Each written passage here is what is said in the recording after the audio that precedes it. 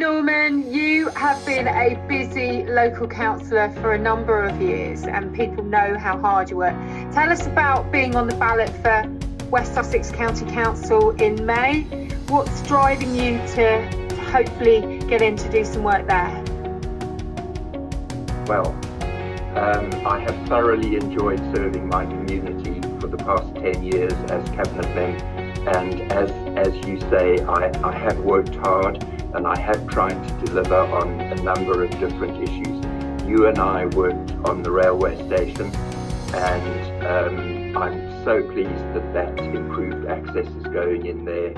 Um, I was on the cabinet at Mid Sussex when we sorted the mortgage for over £100,000 for um, the Haven Centre in Crawley Down and that's now a thriving community centre. And I'm very interested in health and social care, and that's really why I want to um, be elected to West Sussex. I'm also interested in education. I've been a, a chairman of governors in two schools, and I've been a, a governor in a third school, and I think education opens so many doors for people of all ages not just children. Education is a critical um, issue for people of all ages. Well, as the Employment Minister, with the Education White Paper coming through DFE and a lot of the work we're doing, I could not agree more in helping people to thrive and progress throughout their life is so important. Norman, I'm so pleased about the East Grinstead uh, access. So that hopefully at the train station is going to be sped up. So you've been part of the community group, really pushing hard on that one. What do you think uh, you can bring by your experience uh, to, to, West Sussex? Is there a particular area that you really do think that your experience will help with? Well, I think first of all, overall, my experience of how government, how um, local government works is, is key. Um, I've been a stakeholder governor at the Queen Victoria Hospital for eight years, and I do some work with the NHS outside of my council duties, and I work with fifth year medical students. So my real skill is in health and how the health system works, and perhaps also how it doesn't work. I mean, you and I worked very hard to get um, access to pregnant ladies' partners to um, be involved in their birth, and I think that was a really exciting piece of work.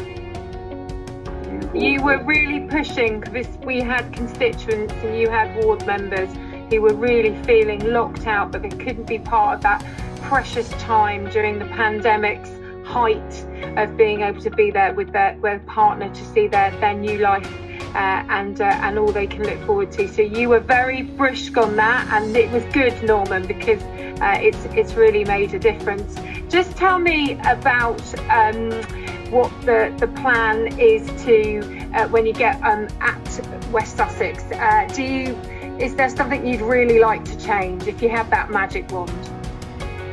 Yes, there is. I, I would like to build on um, the changes that have been made so far in terms of the clinical commissioning groups and how they have been brought together into a more cohesive unit and I would really like to be involved in the bedding down of, of that new system and see the integration of the um, different trusts um, into one um, from the 1st of April. I'd like to see that through its, um, its birth. And, okay. Birth is the theme today. yeah. New things, and um, as as you know, I'm I'm not one to sit back quietly in the corner. Um, I'm very enthusiastic, and um, I'm very keen to make a difference. And I've been a district councillor for ten years, and I think I've got skills now that can be used higher up the chain.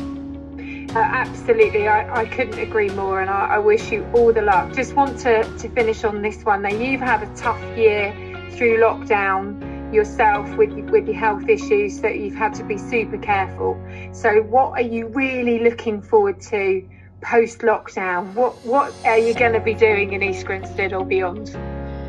I'm looking forward to seeing all those people who have been confined to their homes for the last year. I'm looking forward to seeing us all. Um, I shouldn't say this, but tearing up the town. Um, a P-A-R-T-Y over at East Court in the summer, socially distanced maybe, very, yeah. but, but that feeling of community coming back together. Yeah, it's it's very exciting times. Norman, look after yourself. Good luck on the campaign trail. Good luck for the 6th of May, and it's wonderful to see you doing so well. Thank you very much, Mims.